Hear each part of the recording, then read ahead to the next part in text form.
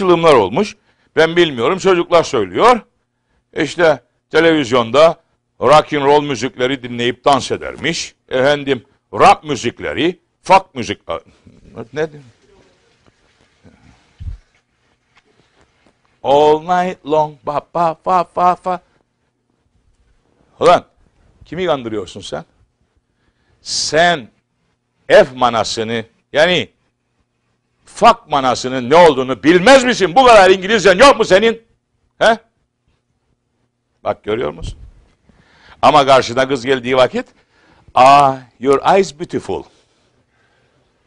Your face beautiful demeyi biliyorsun. Fakat o kelimeyi bilmezsin. Ondan sonra da artistik ha, ha, ha bana böyle dediler de ha, ben zaten dansa uydunuz zannettim.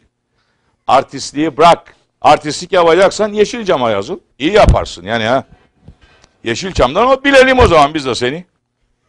Allah Allah. Şikayetimiz olmaz o zaman. Biz şimdiye kadar kalkıp da herhangi bir artist hakkında bir şey söyledik mi? Yok.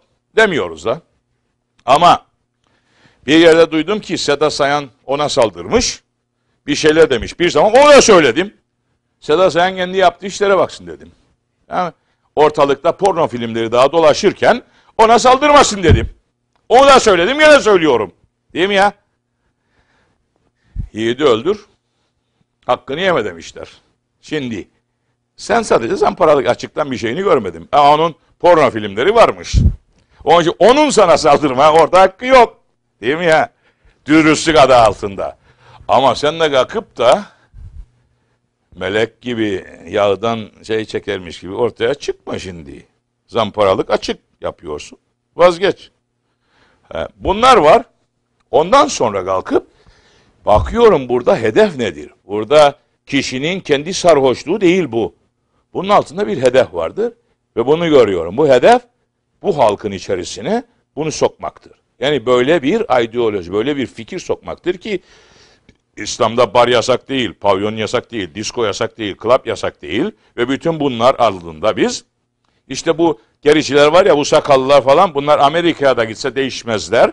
Onun için yasak değil ama böyleleri koydu buna. Bunu diye. E, senin gibi başka alimler çıktı. İmam Hanefi Hazretlerine de saldırıyor. Bunlar koydu diyor. Sahabe koymadı diyor bunları tamam mı? İşte onun için bunlar o tarihi olaylardan bir tanesi olduğu için konuşuyorum şimdi. Sen de bunu ne? Bana açık saldırı yapıyor. Benim her sohbetimi alıp ondan sonra Amerikan bizonu, Amerikan bilmem ne bizonu. E bizon ne oldu? Bizon güzel hayvan. Verimli hayvan. Senin gibi maymun değil ya.